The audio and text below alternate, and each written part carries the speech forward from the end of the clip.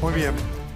Mientras tanto, seguimos paso a paso, minuto a minuto, la realidad en Venezuela. Carolina, buenas noches. La realidad en Venezuela cada vez más preocupante, todavía no se sabe nada del paradero de tantísimos detenidos, pero vamos a hablar con propiedad de tantísimos secuestrados en la Venezuela del horror. A esta hora, Foro Penal Venezolano, la Organización de Derechos Humanos que releva las detenciones, las desapariciones forzadas en muchos casos, habla de 1.102 arrestos verificados o identificados. A esto hay que sumarle situaciones de desaparición, de los cuales 100 son adolescentes. Todo esto responde a algo con lo que lamentablemente hemos tenido que familiarizarnos, que es la operación Tuntún porque hace referencia justamente al golpe fuerte en las puertas de los domicilios buscando casa por casa a quienes consideran terroristas, incitadores del odio, ni más ni menos que disidentes políticos.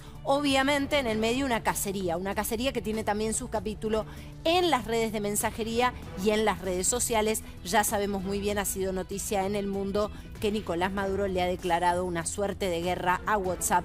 Lo cierto es que el terror se siente, se respira y se vive a lo largo y a lo ancho de toda Venezuela. Vemos lo que decía Maduro sobre el WhatsApp. WhatsApp, aquí está chiquito. WhatsApp, imperialismo tecnológico. Estás atacando a Venezuela. Te entregaron todas las listas. Aquí dice desinstalar. Aquí dice desinstalar. Te fuiste, WhatsApp. Si te he visto, no me acuerdo. Soy libre de WhatsApp. Estoy en paz. Libre de WhatsApp. Me liberé de WhatsApp. WhatsApp para el carajo. Familia venezolana, juventud venezolana, hombres y mujeres patriotas. ¿Quieren paz? Elimine el WhatsApp, porque el WhatsApp le entregó la lista de toda Venezuela al narcotráfico colombiano, al imperialismo tecnológico, para que atacara y volviera loca a la familia venezolana. Bueno, eh, así hacía referencia a esto que nos contabas, Caro. Pero vamos a irnos ya mismo en vivo a Venezuela. Está Gonzalo Báñez con nosotros. Buenas noches, Gonzalo. ¿Qué tal, Nelson, Domi, Caro? ¿Cómo andan? Bueno, el anuncio de Nicolás Maduro ayer sobre WhatsApp dividió las aguas también en la sociedad venezolana. Hoy estuvimos con Federico Gandolfi recorriendo distintos puntos de Caracas. Claro, la mayoría de las personas utilizan las redes sociales, utilizan WhatsApp como mensajería, inclusive para comunicarse con sus familiares que tienen en el exterior. Claro, hay 7.7 millones de venezolanos que están fuera del país y casi la única forma de comunicarse que tienen es WhatsApp. Por ende, la mayoría sabía del pedido de Nicolás Maduro, pero decían no lo vamos a cumplir. Mientras tanto, también se confirmó la detención de Freddy Superlano en el helicoide, este temible centro de tortura que funciona en el centro de Caracas, que es al mismo tiempo la sede central del Servicio Bolivariano de Inteligencia. Allí estuvimos hoy inclusive con su esposa, quien básicamente pide lo esencial, algo básico para un detenido. Saber cómo está, comunicarse. De esos más de 1.100 personas que están detenidas, que están secuestradas, muchas de ellas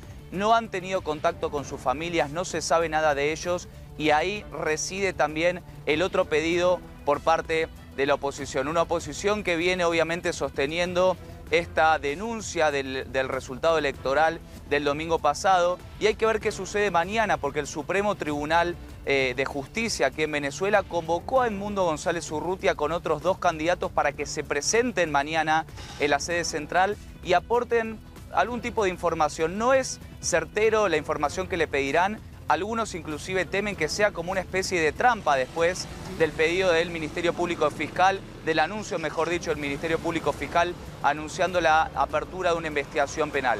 Así vive Venezuela hoy, una Venezuela que va día a día y una Venezuela que espera y sigue esperando mayor presión y mayor apoyo de la comunidad internacional.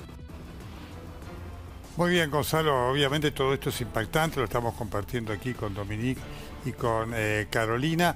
Ahora, eh, realmente hoy Corina Machado habló de una nueva metodología ¿no? para que la gente no estuviera en las calles y no tuviera peligro. ¿Qué significa esto en los hechos concretos, según lo estás viendo vos, palpando hoy con la gente?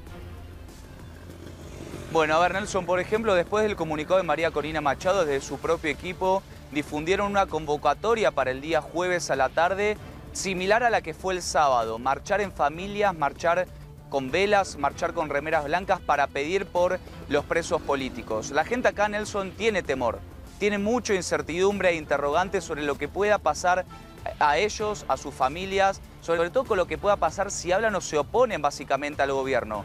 una historia muy pequeña, ayer después de una salida se me acercó una funcionaria de un ministerio muy importante de Venezuela y me contó su historia. Cuando el domingo pasado fue a votar, del gobierno le dijeron, cuando votes tenés que sacarte una foto selfie mostrando que votás por Nicolás Maduro. Si no lo haces, te echamos. Su historia representa la de millones de venezolanos que viven del Estado y que viven no solo que trabajan, sino que comen gracias al Estado y que cargan sus combustibles, sus, tanques de combustible gracias al Estado. Y ese es el temor también que tienen infundado el gobierno en millones de personas aquí en todo el país. Gracias Gonzalo, gracias Carolina, vamos a seguir.